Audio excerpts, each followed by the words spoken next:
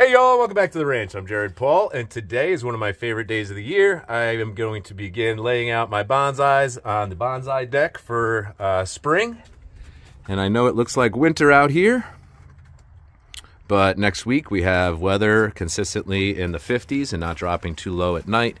So I'm going to start with my evergreen trees and get them laid out. I do along here, if you haven't seen the channel before, and then I do along these benches. I just laid some bricks on those benches so snow and wind wouldn't uh, flip them over during the winter. It did happen once right there, but it wasn't too difficult to avert disaster.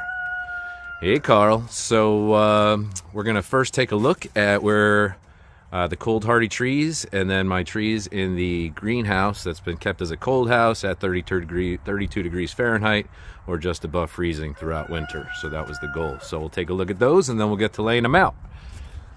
So that's what's coming up on today's episode of Jarhead Bonsai.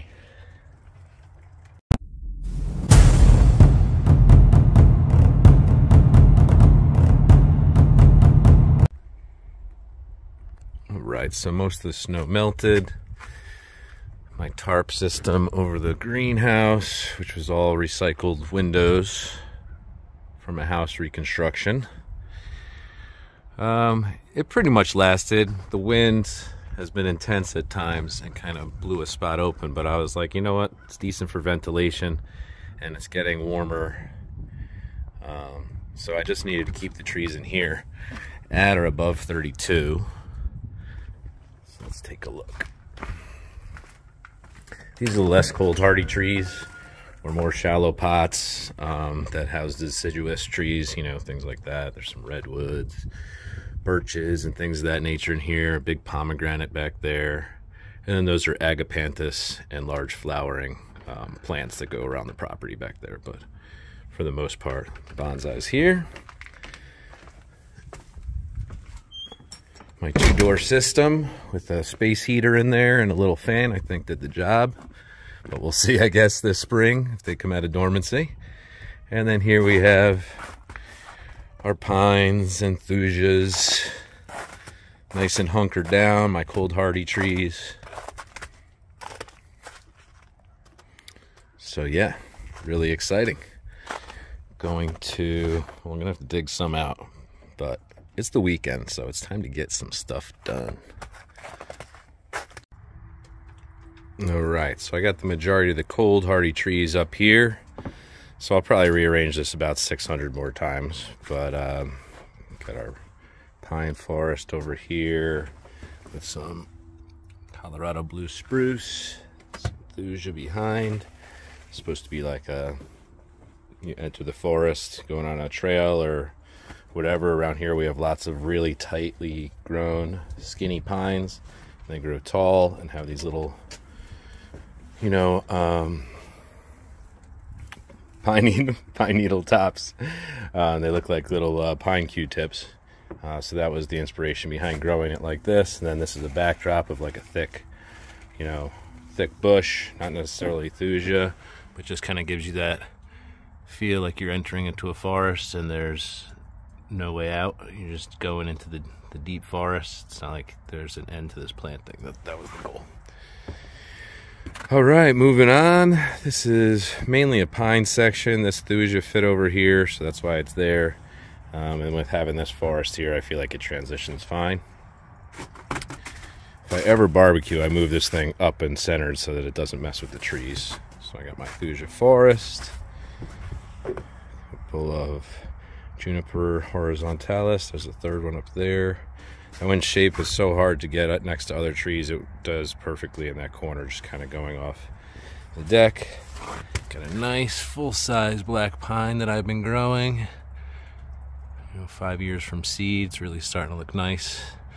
Might I haven't, it's untouched. Might have to work on it a little bit this year.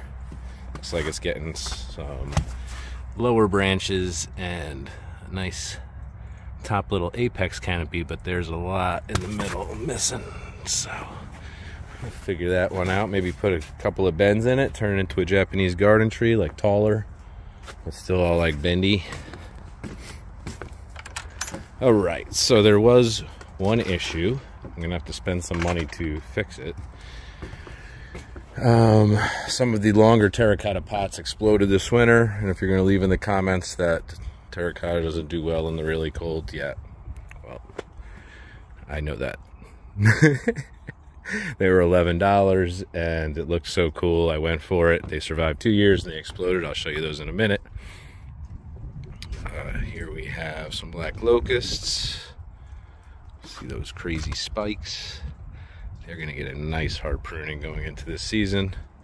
This is a flowering viburnum that's supposed to have pillow-like, cloud-like um, white flowers. It's never flowered for me, but man, if it doesn't look healthy this year. So I don't know that I would prune it. Just, I might just, eh, there might be a couple of little things I'll remove in there.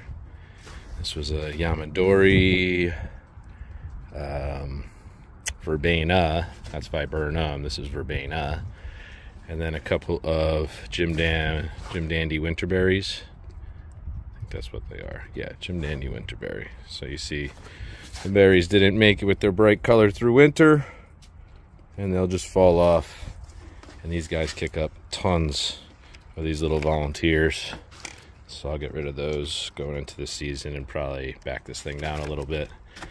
This one, I think this is two separate trees. Like this was a volunteer, but it kind of complemented it. So yeah, I might work on that one a little bit too. All right. So, that's my hickory topiary. Came from right under these steps. I dug it out when I first moved in five years ago. Oh, five this July. And then I've got another hickory right here growing in the ground. It sprouted up the year, actually two years after, this is two years old.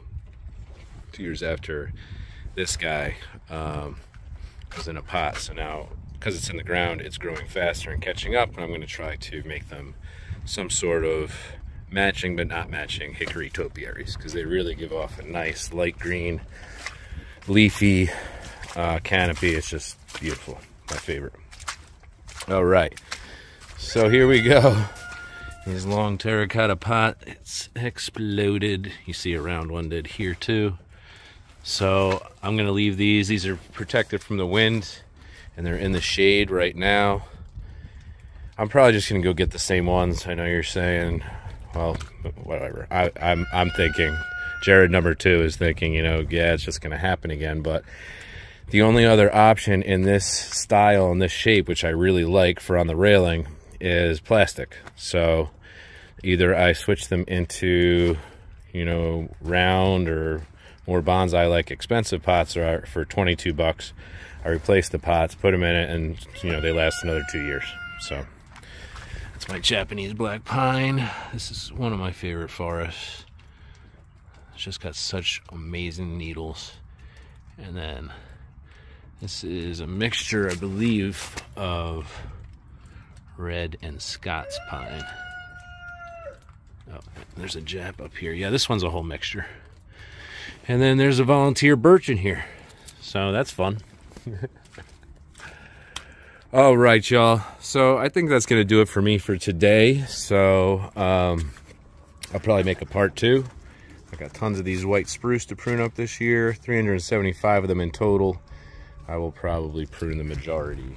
So plenty more to come here on the ranch. Everything's going to be starting to wake up here soon. So I'm just trying to stay ahead of the game. Uh, and from Carl and my family to yours, see you soon, y'all. Cheers.